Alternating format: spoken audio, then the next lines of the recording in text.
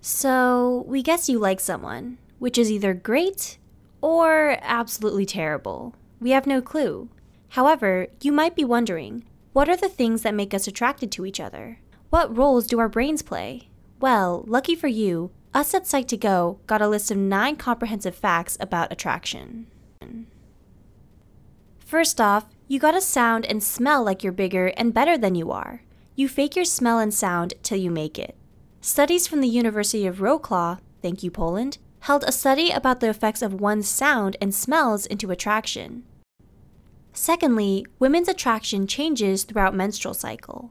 According to several studies, women are attracted to different things depending on where they are in their menstrual cycles. For example, when they're fertile, women like more masculine features, and vice versa when a woman is not ovulating. Thirdly, men don't value intelligence as much as women, which I think is pretty self explanatory. But the stats explain that women are more likely to date less than average looking men with higher intelligence. However, average women with intelligence being deemed attractive by men is at a 40%. 4. A study that delved into speed dating found that people who were the most narcissistic scored higher in attractiveness. So, pretty much, because narcissists care so much about their appearance, that translates to them being more attractive. So, number five is really shallow. To stop people from cheating on you, date people in your league, or settle for people who are traditionally less attractive than you are, which again, super shallow. But studies from Harvard showed that people who felt more attractive than their partners felt less satisfied and felt like they needed more and cheated more. Number 6. Opposites attract.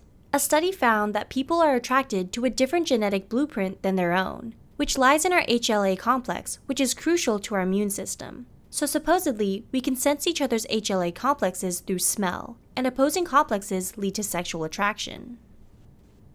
Number 7. A study found that beards are hot, and women think a full beard is hubby material, while a little bit of stubble is great for one night stands.